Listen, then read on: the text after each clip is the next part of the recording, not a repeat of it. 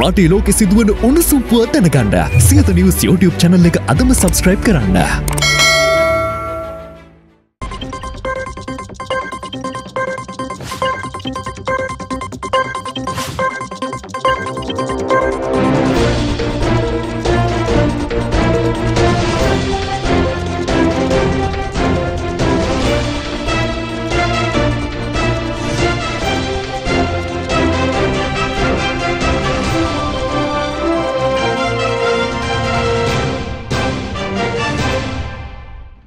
අයිබෝවන් කාලීන ප්‍රවෘති වාර්තාකරණයේ ප්‍රමුඛයා සියත රාත්‍රී ප්‍රවෘති විකාශයයි මේ. මම කවිදු විජයවර්ධන ප්‍රථමයෙන් අවධානය පුවත් සිරස්ථල වෙත. ෆිච්රේටින් ලංකාව තවත් පහතට දමයි. බුද්ධි ගලනය වැඩිවෙයි. බැංකුවල මුදල් ගෙවල්වලට අදින්න පුළුවන් භයානක තත්ත්වයක් ගැන මහාචාර්ය වසන්ත අතුකෝරල කියයි. තොරතුරු තාක්ෂණවේදීන් සියට දහයක් රට හැරගිහින් පරිගණක සමාජය කියයි. යුද හමුදාවෙන් ජනපතිට විශේෂ රහසිගත බෑගයක්. වනජීවි අමාත්‍යංශ වැෑශීර්ෂය අද වන සතුන් රැසකගේ නම් පාර්ලිමේන්තුවට. ඇනලුවන් කියන එක අලි අතෑරලා දාලා අපි කතා කරලා තියෙනවා වල්ලුරා මීහරක හලවැද්ද තඩුලේන ඒ වගේ රිලව වඳුරා පාසැල් දරුවන් රැසක් ගැලරියේ. කටාර් කුමාරයා සහ අපේ යුවරජු ගැන කතා කළ ෆොන්සේකා. මට මැවිලා පේනවා අර වගේ ව්‍යාපෘතියක් මේ කුමාරයට අහුනන්න කොහොම තියේද කියලා. ඒවනම් මේ රට ඉවර කරලා මේ රට විකුණලා මේ රට බංකොලොත් කරලා ඉන්දියාවෙත් භාගයක් විතර ඉවර කරලා ඉන්දියාවක් කාලා හිමාලයත් කාලා නවත්තන්න. දැක්කද උත්තරීතර තැන හැසිරුණු විදිහ. මේ මාගේත් ඔබේ දෙමව්පියන්ගේත් වැරදි කතිරේ ප්‍රතිඵල. චාල්ස් ඩාවින් හිටියනම් පරිනාමවාදය ඉල්ලා අස්කරගන්නවා. අද ටෙලිවැකියෙන්. දවසින් දවස පහත වැටමින් නැති ශ්‍රී ලංකාවේ ආර්ථිකය ගැන ෆිච් රේටින් ආයතනය අද තවත් අනාවරණයක් සිදු කළා. ෆිච් රේටින් යනු ණය ගෙවීම සම්බන්ධයෙන් වන ශ්‍රේණිගත කිරීම් සිදු කරන ලොව ප්‍රමුඛ පෙළේ ආයතනයක්. CCC නැමති කාණ්ඩේ සිට CC දක්වා දැඩි අවදානම් සහිත පහත්ම තත්ත්වයකට ශ්‍රී ලංකාව ඇතුළත් කිරීමටයි එම ආයතනය කටයුතු කර ඇත්තේ. අපේ රට දැන් ආර්ථික අර්බුදයෙන් මිරිකී තිබෙන බවට තවත් අටුවා ටීකා ටිප්පනී අවශ්‍ය නැහැ. දිනෙන් දින ඉහළ යන බඩු මිල, විදුලි බිල, ජල බිල, පාසල් උපකරණවල මිල, ආහාරවල මිල වගේම අධික බදු බරත් මිනිසුන්ගේ ජීවිත හොඳටම අසරණ කරලා. රුපියල පාකර හැරීමත් එක්කම රුපියලට අගයක් නැති වෙලා. අපි ලෝකයේ හිඟනම රටක් බවට පත් වෙලා අවසන්. මේ වෙනකොට ඇමරිකානු ඩොලරයට සාපේක්ෂව රුපියල අගේ 370වත් පහු කරලා. මේ හැම දෙයකින්ම පීඩාවට පත් වෙන්නේ මහ ජනතාව.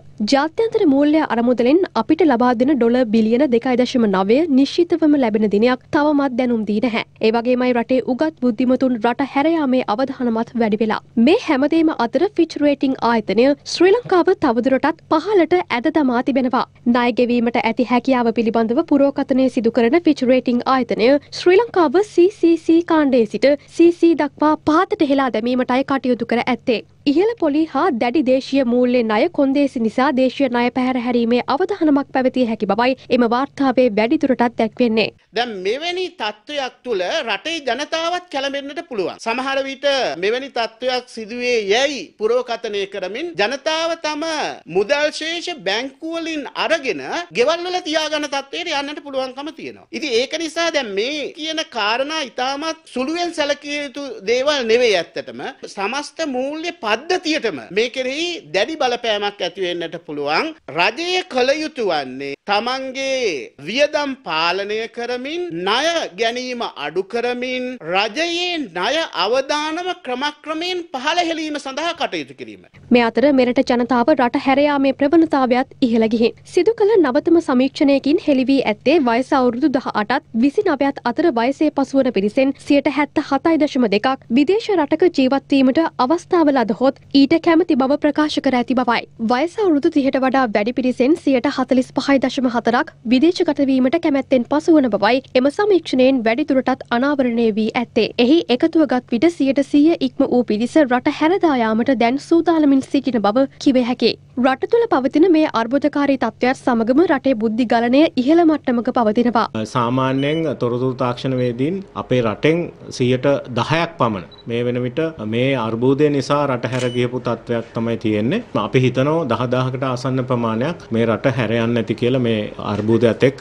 බදු පැනවීම රටේ තියෙන ආර්ථික අර්බූදයේ හැම දෙයක් නිසා මේ තමයි හුඟක් මෙම තොරතුරු තාක්ෂණ වේදීන් රට හැරයාමේ ප්‍රවණතාවයක් තියෙන්නේ. මේ අතර පොලි අනුපාත සම්බන්ධයෙන් මහබැංකු අධිපති ආචාර්ය නන්දලාල් වීරසිංහද මෙලෙස අදහස් පළ කළා. පුද්ගලිකංශයටුවත් පරිභෝජනය හා ආයෝජනය ගැලපෙන අයුරින් සකස් කර එම අනුපාතවලට අනුගතවීමට සිදුවෙනවා. එහිදී රජයට යම් කැපකිරීමක් කිරීමටද සිදුවිය හැකි. උද්ධමනය පාලනය කිරීමට මහබැංකුවට ඇති එකම මෙවලම පොලි අනුපාතයයි. මේ අතර අඩු ආදායම්ලාබී රටවල ණය අර්බුදය විසඳා ගැනීම සඳහා ලොව වැඩිම නයහිමියා වන චීනය වගකීමකින් යුතුව ක්‍රියාමාර්ග ගනු ඇතැයි තමන් අපේක්ෂා කරන බව ජාත්‍යන්තර මූල්‍ය අරමුදල පවසනවා. එහි ප්‍රධානය ක්‍රිස්ටනිලා ජෝජිවා ප්‍රකාශ කළේ ලොව විශාරතම දවීපාර්චික නයහිමියා වන චීනය නායකත රටවලට අර්බුදකාරී තත්ත්වයන්ගෙන් මිදීමට තම සහය වේගවත් කළ හැකි ආකාරය පිළිබඳව වගකීමකින් කටයුතු කරනු ඇතැයි අපේක්ෂා කරන බවයි. ශ්‍රී ලංකා වැනි රටවලට සහය වන ලෙස එවැනි පොදුයාන්ත්‍රණයක් පුරුල් කරමින් කඩිනමින් ක්‍රියාත්මක විය යුතු බවද ඇය වැඩිතුරටත් ප්‍රකාශ කර තිබෙනවා.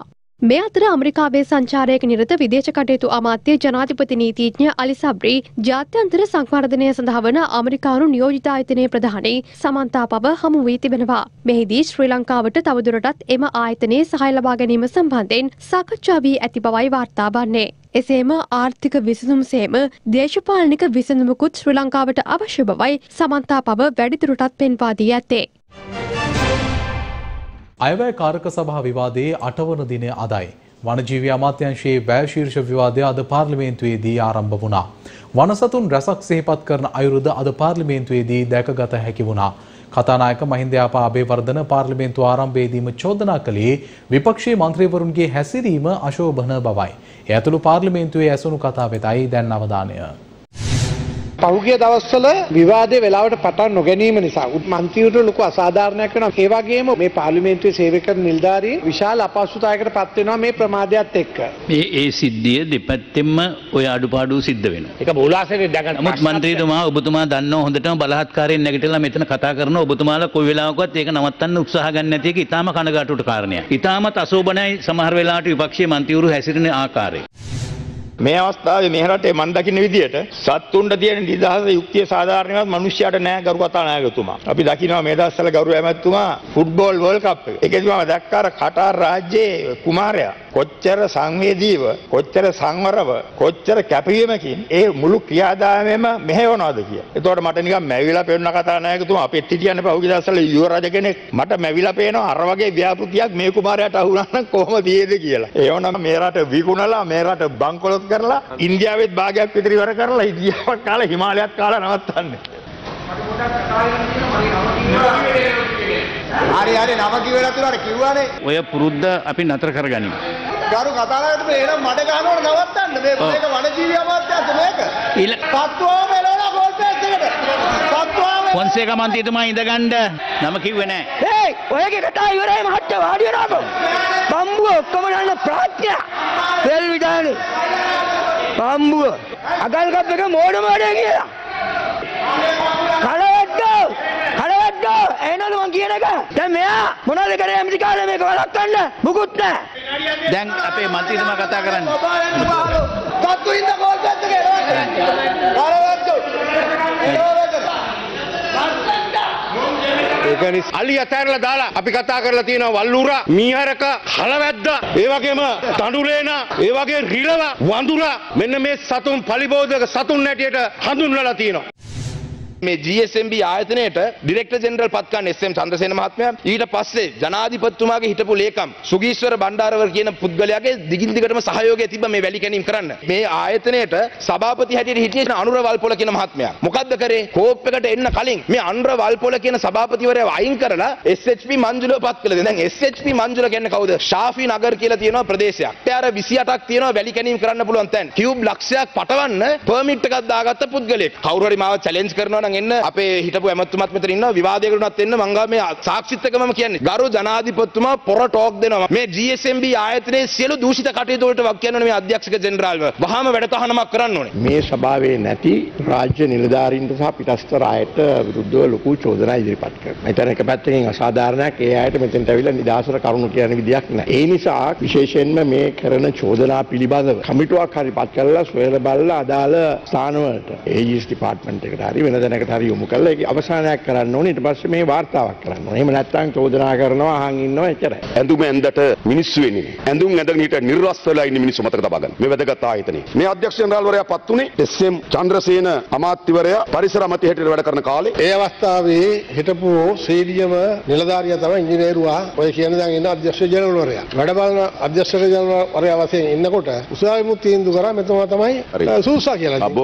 උනේ. ඔබතුමාගේ ලිපිය මා ගාව තියෙන කොහොමද දන්නවද? 2027 15 වෙනි දින සිට බලපවත්වන පරිදි භූවිද්‍යා සමීක්ෂණ පතල් කාර්යසේ අධ්‍යක්ෂ ජනරාල් වශයෙන් ඔබව පත් කරමි. එක්කද වැඩ බලලා කියලා. මේ පතල්ලා කැනීම් කාර්යාංශ මේ අපේ රටේ වංචාවේ දූෂණයේ නාස්තියේ කැඩපතක්. I would like to warn the Chinese there will be a China go home soon and I will lead it. අපි සියලු දෙනාම ಜಾති ආගම් ભેද වලින් තොරව go home ගෝට කියලා අපි එකතු වුණා වගේ China go home කියලා එකතු වෙනකොට අපි තල්ලු ගන්න එපා. We have to work with all countries. I agree with you that we need to work with the Chinese and the Point Indians. not a point of order. Not a point of order. But I don't think we should be so harsh. මේ වෙලාව දෙන්න විනාඩිය මම විනාඩියයි. Our Honorable Harsha De Silva commented on a speech. You can't allow one member to comment on a speech of another member in the opposition. You are not, you are not the minister. Okay. You are another member in the opposition. Please don't. කතා කරන්නේ රටවල් දෙකක් අතර තියෙන සම්බන්ධතාවයක් පිළිබඳ. Of order is it's out of order. It's totally out of order for honorable member to be commenting like this. ඕගලන්ගේ දේශපාලන. රටේ ජනතාව වෙනුවෙන් මම කතා කරේ. නම කිව්වේ ඔබතුමා මේ අනවශ්‍ය විවාද කර පටලවිච්ච නිසා. ඔබතුමාට ඒකට උත්තර දෙන්න වැදගත් වීමක් නැහැ. ඔබතුමාට පොයින්ට් ඔෆ් ඕඩර් එකකුත් නැහැ. ஐயோ ஐயா க- கொஞ்சம் கத்தாயிங்க மீன் கடை அவங்களோட டைமுக்கு பேசிட்டு திரும்ப திரும்ப குறுக்கா குறுக்கா கத்தி கொண்டு இருக்கிறீங்கல்ல எல்லாருக்கும் சான்ஸ் கொடுங்க ஐயா අද පත්තරයක් අරගෙන බලන්න. යාළ ගල්ලාර අක්කර 40ක් බැකුම් දාලා වනසලා. මේ රටේ ඕන විදියට එක එක්කෙනාට හොරලා කන්න ඉඩ දීලාද තියෙන්නේ. ඔබතුමා කියන සංඛ්‍යාලේඛන වලත් ප්‍රශ්නයක් ආගම කරේ. මේ කැලෑහෙලි කිරීමක් සම්බන්ධව සහ සියල්ලටම දැන් පරීක්ෂණ තියෙනවා. ඒ වගේම ඒවට දැනටමත් අත්අඩංගුවට ගැනීම සියල්ල සිද්ධ වෙනවා. කිසිදු දේශපාලන බලපෑමකින් තොරව මහ දවල් මාස ගානක් තිස්සේ කැලෑ කපනවනේ. උන රෑ 12ට විතර ඇවිල්ලා එක වෙනකොට කැලෑ කපලා යනවනම් මේ කියන කතාව පිළිගත්තේ. ඔය වගේම නේනම් පරීක්ෂණ කරලා කියලා පැන්ඩෝරා පා- පේපර් වලින් රාජපක්ෂ පවුල මිලියන 150ක් වංචා කරලා හංගලා තිබ්බා. අදවත් වාර්තා නැහැ. මේක හොරුන්ට හදපු තිප්පලක්. අද වනරක්ෂණ දෙපාර්තමේන්තුව කියන්නේ කැලෑ වෙන්දේසි කරන කොම්පැනියක්. අලිය දවල් තිස්සේ හිතාගෙන ඉන්නේ නැහැ. මම අද රෑට සිරිපාලට ගහනවා බයිසිකලේ යනකොට රන් මැණිකගේ ගේ කඩන්න යනවා අද මම රෑට. එහෙම කියලා හිත හිත අලියා ඉන්නේ නැහැ. මේ අලියා ඉන්නේ ඇත්තටම කෑම හොයාගෙන. මේ ඉන්න මිනිස්සුන්ට දී ගබඩාවල් මේගොල්ලන්ට ගබඩා කරන්න තැන් හදලා දෙන්න. හැම කෙනෙකුටම ගබඩාවක් දෙන්න. යතුරක් දෙන්න. පාර්ලිමේන්තුවේ කතා කරනවට වැඩිය බඩමඩුවක් බවට පත් වෙලා තියෙනවා අපිට ඇහෙන්න තියෙන්නේ ඔක්කොම බණ භාවනා සූත්‍ර අරවට මේවා ඔක්කොම කෙලෙහිගුණේ තියෙන්න ඕන කියලා කියලා තියෙනවා බුදුහාමුදුරුවෝ. නමුත් අපි දැක්ක විපක්ෂ නායකතුමා tamunට අයන්න ආයන්න දේශපාලනය කරලා මේ වේදිකාවට ගෙනාපු ගුරුතුමාව විවේචනය කරන හැටි. ඉතින් මම කවුද? එතුමා උඩ බලාගෙන කෙල ගහනවා නම් එහෙමත් නැත්නම් වීදුරු ගෙයක් ඇතුලේ ඉඳලා ගල් ගහනවා නම් එක ගලයි ගහන්න ඕනේ. ඔය වීදුරු ගෙට මම. ඒ ගල මම ළඟදිම ගහනවා. ලිපගිනි මොලවන තෙක් දිය සැලියේ සැපයක් යයි කකුලුව දිය කෙලියේ. දැන් ඩයන නෝනා මේක සැපයක් කියලා හිතාගෙන දිය කෙලිනවද නැත්නම් වෙන මොනවා හරි කෙලිනවද නම් මම දන්නේ නැහැ. එතුමිය මේ රටේ පුරවැසියෙක් නෙමෙයි. ඒ මතිවට එතුමිය බණක් කියනවා. කනගුල ග- සැලකිල්ල තමයි එතුමියට දෙනවා ජාතික ලැයිස්තු අන්තරු විදුරය. එතුමිය මේ පාර්ලිමේන්තුවේ සහභාගී වෙන අන්තිම අයවැය විවාදයට තමයි මේ දවස්වල සහභාගී වෙන්නේ. එතුමියව චූන් කරන්න වයින් කරන්න කට්ටිය ඉන්නවා. ඒ නිසා ඒ වයින් එකෙන් තමයි ඔය වැඩ කරන්නේ. මෙවන විට සියලු වාර්තා බිඳ දමමින් සියලු රේටිංස් බොරු කරමින් ලංකාවේ වැඩිම පිරිසක් නරඹන ටෙලිවිෂන් ටෙලිවැකිය දැන්. ටෙලිවිෂන් ටෙලිවැකිය දැක්කද? කොහොමද මේ රටේ උත්තරීතරම තැන ප්‍රශ්නවලට විසඳුම් හොයන තැන රට ගොඩගන්න යවපු උන්දල ඉන්න තැන? පේනවද ඔබත් මමත් ඡන්දය දීලා යවලා තියෙන්නේ කාවද කියලා? අපි ඡන්දය දුන්නේ මනුස්සෙන්ට කියලානේ හිතාගෙන ඉන්නේ නේද? මනසින් උසස් සත්වයට නේද? නමුත් දැක්කද එයාලම කියනවා මෙතන ඉන්නේ මනුසත්තු නෙවෙයි කියලා. මනුසත්තා කියන්නේ මනසින් උසස් අයට. සත්ව ලෝකයේ බුද්ධිමත්ම සතාට. සතාට ඥානාන්විතම සතාට. දෙවියන් ලෝකයේ මැව්ව කියලා මොහොත්තකට හිතුවොත් දෙවියන්ගේ හොඳම මැවිල්ල නේද. නමුත් අපේ පාර්ලිමේන්තුව දිහා බැලුවම එහෙම නෙවෙයින නේද.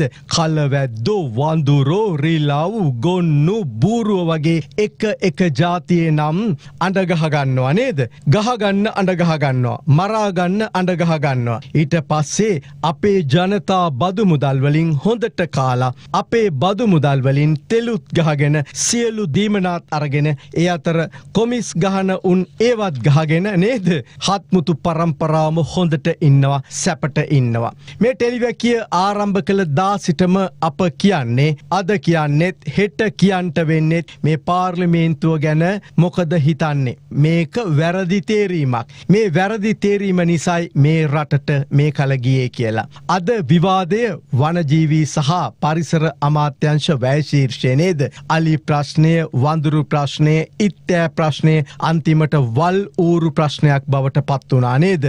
අලිවැටවල් ගහන්නෙත් අගල් කපන්නෙත් ඇත්තම කිව්වොත් මෙලෝ පර්යේෂණයක් නැතුව. මෙරටේ බුද්ධිමත් විෂය දන්න පරිසර විශේසක්ඥින්ගේ දැනුම ඇතිව නෙමේ. මේ එක පියවරක්වත් මෙතෙක් ගත්තෙත් හෙට ගන්නෙත් අගල් කපන්නෙත් වැටවල් ගහන්නෙත් තම තමන්ට ඕන විදිහට. හරිද අලි වැටවල් එදත් අසාර්ථක වුණා අලිය දන්නවා අලිවැට කඩන විදිහ. මේවට මෙහෙම සත්තු වගේ හැසිරලා උත්තර හොයන්ට බෑ. මේ ප්‍රශ්නවලට උත්තර හොයන්න විශේසක්ඥීන්ට බාර දෙන්න ඕනේ. ලෝකේ අනිත් රටවල් මොනවද කළේ කියලා හොයල බලන්න ඕනේ. නේද. මේ අද කතා කළේ කතා කරන්න බැරි හඬක් නැති සත්තු වෙනුවෙන් නේද. වානරයෙන්ගෙන් පැවතෙනවා කියලා චාල්ස් ඩාවින්ගේ අර පරිනාමවාදේ නේද අද චාල්ස් ඩාවින් හිටිය නම් ඕක ඉල්ලාස් කරගන්නවා.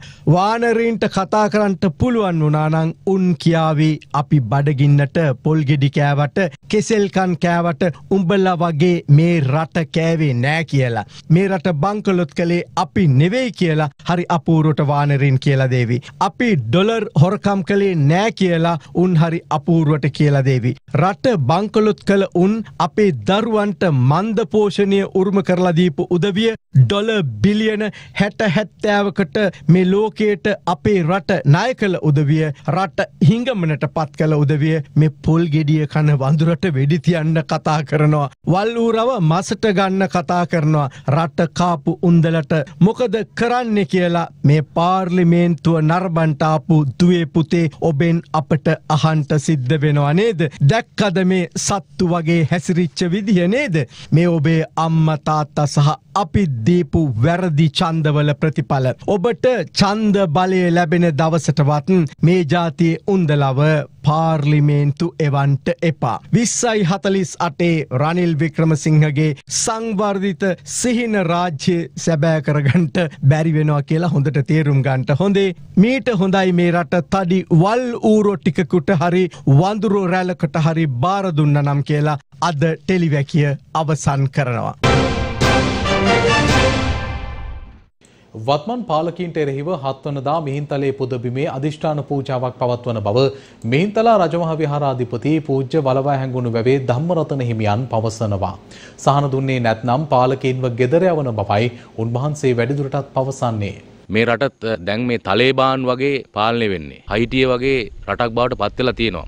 නීතියක් විනයක් මිනිස්සු ගැන ආරක්ෂාවක් මිනිස්සු ගැන සෙවිල්ලක් දෙසිය විසිපස් දෙනෙක් ඉන්නවා මේ ආණ්ඩුවේ සහ විපක්ෂේ ඒ ගිජිලිහුනිය ටික තමයි මේ රට විනාශයට පත් කරලා තියෙන්නේ. ඔය මොන කතා පැවැත්තුවත් පක්ෂ විපක්ෂ ඒ අය රට ගැන රටේ ජනතාව ගැන පුරවැසියන් ගැන කිසිදු හැඟීමකින් තොරව තමයි කටයුතු කරන්නේ කියන එක මේ වෙලාවේදී සිහිපත් කරනවා. පාලකයෝ කරන මේ වංචා දූෂණ කොමිස් ගැහිලි ඉවගේම ආර්ථික අපරාධ ඒ ගිජිලිහුනියෝ ටික තව තවත් මේ රට ගිලිනවා. අපේ සීයලා වගේ මුන්දලාගෙත් සිහි කල්පනාව අඩුයි. මෙමරි අවුට් වෙච්චාම මතක ශක්තිය අඩු වෙනවා. ඉතින් මේ මුත්තලාට රට දීලා අපිට යහපතක් බලාපොරොත්තු වෙන්න බෑ. පක්ෂ පාට ભેදයකින් තොරව හත්වෙනිදා එක්කාසු වෙන්න කියන්නේ මහා අරගල කරන්න නෙවෙයි යම් වූ අදිෂ්ඨානයක් අපි කරනවා. ජනවාරි මාසේ පෝය දවස එනකොට මාසයක් ඇතුළට අපිට රටේ ජනතාවට සහන දෙන්න ඕන. හැබැයි සහන නොදුන්නොත් මේ අදිෂ්ඨානය ඔබලා ගෙදර යවලා තමයි අපි පස්ස බලන්නේ. දැන් දේශපාලන වේදිකාවෙන් ඇසුණු කතා. සමහර අය අපිට මතකයි මේ අරගලයෙන් පස්සේ කිව්වා පෝට්ටුවක් නෑ පෝට්ටුව ඉවරයි දෙන්නෙක් එක්කව කරගන්න බෑ කියලා කිව්වා. අපි පෙන්නවා. අපි කළුතරින් එක්ක නැගිටිමු වැඩසටහන යටතේ මහින්ද රාජපක්ෂ මැතිතුමාව කළුතරට ගෙනල්ලා අපි අපේ ජනතාව එකතු කරලා අපි පෙන්නවා අපේ ජනතාව ඉන්නවා කියන එක. ඒක අපි ඊට පස්සේ නාවල පිටියෙන් පෙන්නවා. ඊට පස්සේ අපි ඒක පුත්තලමෙන් පෙන්නවා. අපි නැවතත් දෙසැම්බර් මාසයේ ඉඳන් ලබන අවුරුද්දේ අපේ රැස්වීම මාලාව ගම්මට්ටමින් ඉදිරියට යන්න පක්ෂය ශක්තිමත්ව ගෙනියන්න කටයුතු කරනවා. මහින්ද සමග නැගිටිමු කියලා පටන් ගන්න කවුද? පොඩි රැස්වීම් තුනයි තිබ්බේ. දොරගුරු දාගෙන කාඩ් දීලා චෙක් කරලා අරගෙන පොඩි රැස්වීම් තුනක් තිබ්බා. තුනෙන් පස්සේ වැඩේ ඉවර කරා. ඇයි ඒ කවුරුවක්වත් එන්නේ? මහින්දත් එක්ක නැගිටින්න කවුරුවක්වත් එන්නේ නැහැ. මොකද කවුරුත් දන්නවා මහින්ද නැගිටින්නත් බෑ. රැස්වීම් තුනයි කරේ. කවුරුතර එකක් කරා, නාවල් පිට එකක් කරා. ඔය පුත්තලම් පැත්ත එකක් ආපු මිනිස්සු ඉන්නේ කොහමද? සමෘද්ධි කපනවා හරි මොනවා හරි කියලා බල කරලා අරන්. ආපු කට්ටිය කොහොම ඉන්නේ? අර ආපු කට්ටිය ඉන්නේ බිම් බලන්නේ. කැමරා දිහා බලන්නේ නැහැ. මූණ පෙන්වන්නේ නැහැ ලැජ්ජයි. ලැජ්ජේ හිතන වැඩනේ අත්ත නේද? මේ කාලේ මහින්ද රැස්වීම කරනවා කියලා ලැජ්ජේ හිතන නැත්තම් ලැජ්ජාවේ පණ යන වැඩ. රැස්වීම තුනයි මහින්ද නැගිටින එක නතර කරා. අපේ රටේ මිනිස්සු බඩගින්න මැරෙනවයි කියලා කියනවා නම් ඒක අපිට විශ්වාස කරන්න පුළුවන් කමක් නැහැ. අපි ඉන්න ප්‍රදේශවලත් ඉතාමත්ම දුෂ්කර මිනිස්සු ඉන්නවා. දුෂ්කර ප්‍රදේශ තියෙනවා. වේලක් කර වේලක් කාලා හරි ජනතාව ජීවත් වෙනවා. ඒ නිසා ඔය කියන தත්ත්වේ මන්ද පෝෂණයක් හැදිලා අර බඩගිඩි ලොකු වෙලා ඔලුගිඩි ලොකු වෙලා එහෙම ජනතාව නිර්මාණය වෙලා නැහැ. මේක විපක්ෂයේ විසින් විසින් නිර්මාණය කරපු කතාවක් කියලා මම විශ්වාස කරන්නේ. ඒක තමයි රංජන රාමනායක කිව්වේ මේ ඔක්කොම යාළුවෝ මල්ලි කියලා කිව්වේ ඒක තමයි. ඉතින් මේක ඔක්කොම යාළුවෝ. දැන් මහ බැංකුව මහ දවල් මංකොල්ල කෑවා කියලා කෑ ගහලා මෙයා කරපු අය. මොකද කියන්නේ මට මම පොඩි උදාහරණයක් කියන්නේ අපි අපි ආණ්ඩු පක්ෂයෙන් නේද අපේ නායකයා රනිල් වික්‍රමසිංහ මැතිතුමා. එතුමා පාර්ලිමේන්තුවේදී අපිට කිව්වා මම මෙහෙම කියනවා. එතකොට ඔයගොල්ලෝ මේ විදිහට කියන්නේ. මේක කවුද හොරා කවුද හොරා කියලා එතුමා කියනවා. අපි කියනවා මහින්ද හොරා මහින්ද හොරා කියලා. අපි කිව්වා එහෙම. දැන් අපි කිව්වා අපිට කිව්වා මහින්ද හොරා කියන්නේ. ඉතින් එතුමා කවුද හොරා කවුද හොරා කියලා අපි මහින්ද හොරා මහින්ද හොරා කියන. අන්තිමට මොකද දැන් මහින්ද හොරත් එක්ක අර හොඳට හිටගෙන දැන් ඒගොල්ලෝ හොඳට එකට ගම බෑ කරගෙන ඉන්නවා. ශ්‍රී ලංකා යුද හමුදාව ජනාධිපතිවරයා වෙනුවෙන් විශේෂ බෑගයක් නිෂ්පාදනය කර තිබෙනවා.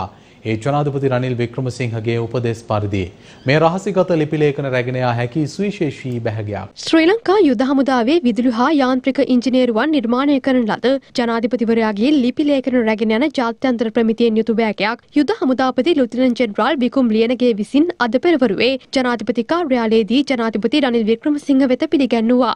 ලෝකනායකින් සංචාරයන්හි නිරත වන විට වැදගත් හා රහසිගත ලිපි ලේඛන රැගෙන යාමට සුවිශේෂී බෑගයක් භාවිත කිරීම සම්ප්‍රදායක්. ජාත්‍යන්තර ප්‍රමිතීන්ට අනුකූලව බෑගයක් නිර්මාණය කිරීමේ කටයුත්ත ජනාධිපතිවරයා විසින් ශ්‍රී ලංකා යුද හමුදාවට පවරනු ලැබුවේ මෙම ලෝක සම්ප්‍රදාය ශ්‍රී ලංකාවට හඳුන්වා දෙමින්. ඒ අනුව ජනාධිපති රනිල් වික්‍රමසිංහගේ විශේෂ මඟ පෙන්වීම මත යුද හමුදාපතිවරයාගේ ඍජු අධීක්ෂණය යටතේ යුද හමුදා විදුලි හා යාන්ත්‍රික ඉංජිනේරු අධ්‍යක්ෂකවරයාගේ ප්‍රධානත්වයෙන් යුත් ශේෂ්ත්‍රයේ ප්‍රවීණයන් පිරිසක් විසින් ජනාධිපති ලේකම් කාර්යාලය විසින් ලබා දෙන ලද පිරිවිතරයන්ට අනුව මෙම බෑගය නිර්මාණය කර තිබෙනවා. මෙය ජනාධිපතිවරයාගෙන් පසුව තවත් ජනාධිපතිවරයෙකුට භාවිත කළ හැකි පරිදි කල්පවත්නා නිමැවුමක් විය යුතු බවට ජනාධිපති රනිල් වික්‍රමසිංහ උපදෙස් ලබා දී තිබුණා. ඒ අනුව නිර්මාණය කළ මෙම බෑගය ආරක්ෂිතව සහ සැලසුම් සහගතව උසස් තත්ත්වයේ සම්භාවිතයෙන් නිමවා තිබෙනවා. ජනාධිපතිවරයාගේ අත්සන ලබා ගැනීම සඳහා අමාත්‍යංශය මගින් දෛනිකව ලිපිගොනු විශාල ප්‍රමාණයක් ජනාධිපති කාර්යාලයට යොමු කරන බවත් එහිදී ලිපිලේඛන බහලුම් සඳහා වැයවන මුදල් අවම කර ගැනීමට සියලු අමාත්‍යංශවලට මෙවැනි බෑගයක් භාවිත කිරීමේ හැකියාව පෙන්වා දුන් ජනාධිපතිවරයා ඊට අවශ්‍ය බෑග්ද යුද හමුදාවට නිෂ්පාදනය කළ හැකි බවත් ප්‍රකාශ කළා. දැනට රට තුළ ඇති ගල් අඟුරු මාසයක් සඳහාවත් ප්‍රමාණවත් නැති බව සමග ඒකාබද්ධ වෘත්තීය සමිති බලවේගයේ කැඳවුම්කරු ආනන්ද පාලිත පවසනවා. එසේ තිබියදී විදුලි බිලද වැඩි කරමින් ජනතාව සූරා කෑමේ ක්‍රියාවලියක රජය නිරත වන බවයි ඔහු වැඩිදුරටත් පැවසුවේ.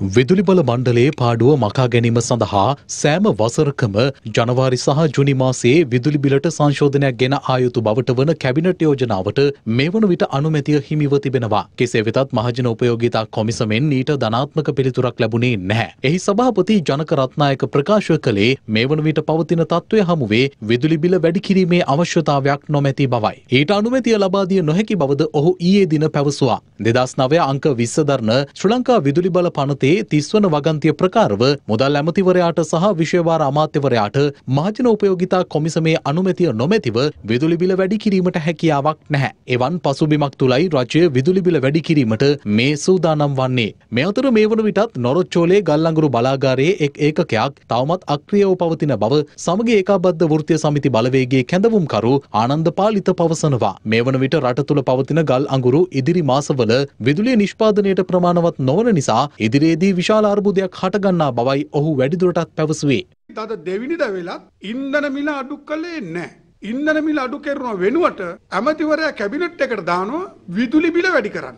අද පැය දෙකක් කපන්නේ තුන්වැනි ගල්ලංගුර එකකේ මේ වෙනතුරු ජාතික පද්ධතියට නොකරලා තියෙන්නේ ඌමනාකමින්ම හේතුව ගල්ලංගුරු ටික ඉවරෙන ඉඳ මේ මාසේ අන්තිමට වෙන්න ඉස්සෙල්ලා. තුනම දිව්වොත්. උපරිම ජනවාරි මැද එනකොට සම්පූර්ණ රට නවතිනවා. අද වෙනකොට තියෙන්නේ ගල්ලංගුරු නැව් 8යි ගල්ලංගුරු නැව් 38ක් ඕනි. ගල්ලංගුරු ගන්නකොට ගෑස් වලට සල්ලි නෑ. ගෑස් ගන්නකොට ඉන්ධන වලට නෑ. ඉදිරියේදී කළුවරෙත් ඉන්න වෙනවා. කළුවරේ ඉන්නවා මදිවට මිලත් වැඩි කරනවා. අපිට නැවත අවතාවක් 50ක විදුලි බිලක් වැඩි කරන්න කියලා යෝජනා ඉදිරිපත් කරනවා. 2023 ඒ වැඩි කරන්න තමයි මේ රටේ මේ නව පාලනයක් කරන රනිල් වික්‍රමසිංහ සමග මේ කාංචන විජේසේකර මැතිමැතිවරු කටයුතු කරන්න. මොකද මේ තුලින් බලාපොරොත්තු වෙනවා ඉදිරියේදී මේ ලංකා විදුලි බල මණ්ඩලය ප්‍රතිව්‍යුහගත කරණය කරලා මේ පිටරැටියන්ට මේක විකුණනකොට ඒ අයට ලාභ ලබන තත්යකට මේක පත් කරන්න. නිවසේම මෝටර් රථය තුළ මිය ගිය 17 හැවිරිදි දරුවෙකු පිළිබඳ අද පිළියන්දල ප්‍රදේශයෙන් වාර්තා වනවා. වාහනය තුළ සිහිසුන්ව සිටි මෙම සිසුවා රෝහලට රැගෙන ගිය පසුවයි මිය ගොස් තිබුණේ. සිද්ධිය සම්බන්ධයෙන් ගල්කිස්ස කොට්ටාස අපරාධ විමර්ශන නිලධාරීන් පරීක්ෂණ ආරම්භ කර තිබෙනවා. මෙය ඝාතනයක්ද සියදිවි නසා ගැනීමක්ද නැතහොත් වෙනත් රෝගයක් නිසාද යන්න තවමත් නිශ්චිතව මානාවරණය වී නැහැ. මෙලෙස අවාසනාවන්ත ලෙස මියගොස් තිබුණේ පිළියන්දල ජයමාවත පදිංචි දාහත් හැවරදි පාසල් සිසුවෙකුයි. සිසුවා මෝටර් රථය තුළ සිටියේදී ස්වයංක්‍රීයව එහි දොරගුළු වැටී තිබූ බවයි වාර්තා වන්නේ. එම අවස්ථාවේදී නිවසේ කිසිවෙකු සිට නැහැ. සිසුවාගේ මිතුරෙකු නිවසට පැමිණි මොහොතේ නිවසේ දොර විවෘත කර තිබුණත් සිසුවා නොසිටීම හේතුවෙන් ප්‍රදේශවාසීන් හා සිසුවාගේ පියා දැනුවත් කිරීමට කටයුතු කර තිබුණා. එහිදී කළ සොයා බැලීමකදී සිසුවා මෝටර් රථය තුළ සිරවී ඇති බව දැක තිබෙනවා. අසාධ්‍ය තත්ත්වයේ සිටි සිසුවා කඩිනමින් රෝහල්ගත කිරීමට පියවර ගත්තත් ප්‍රතිකාර ලබා දෙමින් සිටියේදී ඔහු මිය ගොස් ඇත්තේ. මෙම මරණය පිළිබඳව සොයා බැලීමට විමර්ශන කටයුතු ආරම්භ කර ඇති බවයි පිළියන්දල පොලිසිය ප්‍රකාශ කළේ. දැන් තවත් පුවත් කිහිපයක් කෙටියෙන්. අලි ඇතුන් ලියාපදිංචි කිරීමේ ලේඛනය හෙවත් අලි පොත අධිකරණයට ඉදිරිපත් කරන ලෙස නියෝග කර තිබෙනවා. ශ්‍රී ලංකා අමරපුර සිරිසත් ධම්ම යුක්තික මාතර මහානිකායේ රත්නපුර දිසාවේ ප්‍රධාන සංඝනායක දික්වැවේ පඤ්ඤාදීරණා හිමි පෙරේදා දින අපවත් වී තිබෙනවා. ආදාහන පූජෝත්සවය හෙට දින පස්වරු තුනට විහාරස්ථ ආදාහන මළුවේදී සිදු කිරීමට නියමිතයි.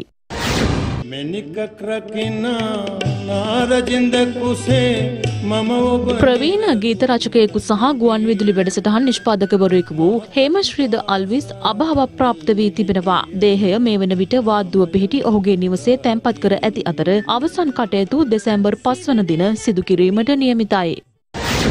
පොළොන්නරුව සෝමාවතිය ප්‍රදේශයේ මද්දකට හසු වූ පාදය තුවාල වූ කෙනරකට පැය තුනක මෙහෙයුමකින් අනතුරුව සාර්ථක ලෙස ප්‍රතිකාර කර තිබෙනවා. ගිරිතලේ වනජීවී පශුවෛද්‍ය රෝහලේ කණ්ඩායමක් මෙම ප්‍රතිකාරය සිදු කර තිබුණා.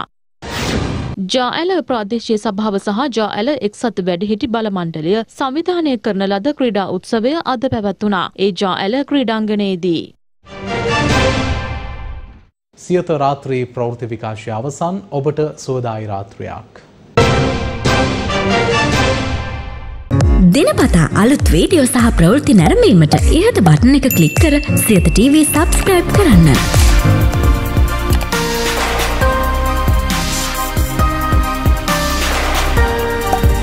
අලුත් වීඩියෝ ගැන මුලින්ම දැනගන්න මෙම සීනුව ක්ලික් කරන්න.